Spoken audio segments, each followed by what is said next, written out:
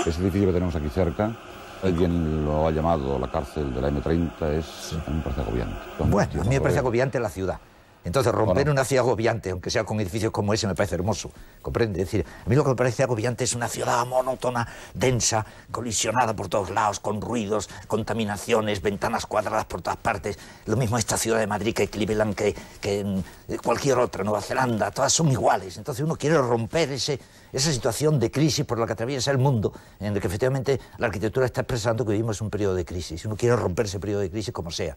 Yo hice escuelas redondas en Patán, torres blancas con habitaciones cuasi redondas.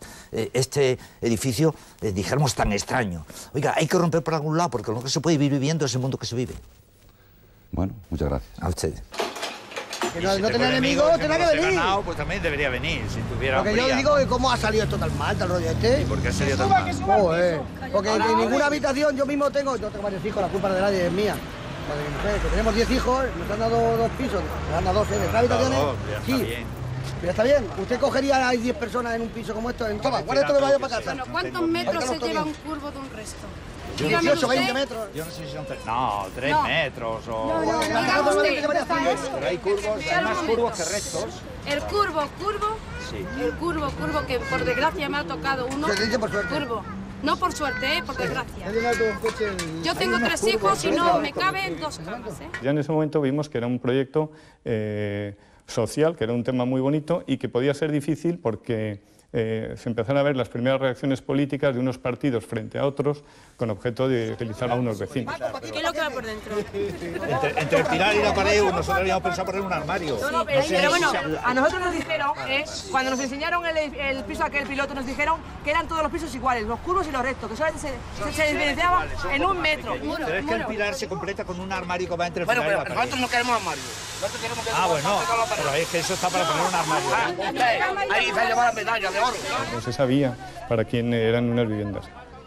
Cuando ya eh, se adjudicó el concurso, ya tuvimos unas primeras reuniones donde vimos que era eh, gente con mucha necesidad, gente que había recibido muchos varapalos por parte de la administración, promesas incumplidas. Usted, Estos pisos están para adjudicar por el IBIMA. a Estos son gente- para, para el reloj. No, por eso. Eh, bueno, Esos bien. son nuestros, estos pisos. Ya, pero cuando nosotros hicimos esto no eran de ustedes. Cuando la ocupación se haya efectuado en su totalidad, vivirán entre sus paredes 346 familias procedentes en su mayoría del Pozo del Huevo de Vallecas. Sáenz de Oiza ha querido escuchar las críticas en persona y tras el canto general de ¿es usted el culpable?, se defiende. Os dan algo y ponéis pega. Pero si ponéis Mi padre lleva 40 años Ah, viviendo en el Pozo del Huevo. Y le van a tirar una casa que, que si le dan 20 millones no le da por 20 millones.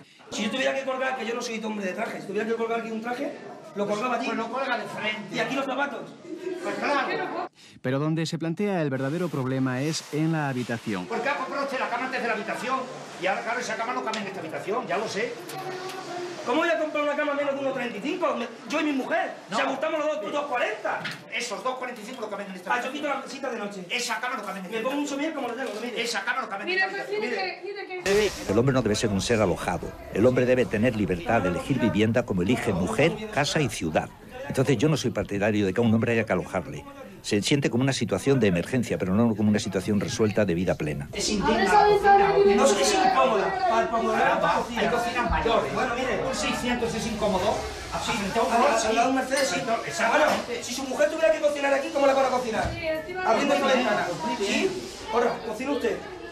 Usted ha hecho apartamentos, porque estos son Bueno, pues apartamentos, ¿eh? Porque estoy acostumbrada a limpiarlos. Bueno, pues serán estos son apartamentos. Bueno, pues no son pisos para la gente del Pozo del Huevo, ¿eh? No sé. Mire, y la televisión, si la pongo así, ¿cómo la pongo yo en la televisión? Esta puerta, tengo que anularla también esta puerta. Lo mejor, mira, lo mejor es que dejes la casa y te hagas arquitecto.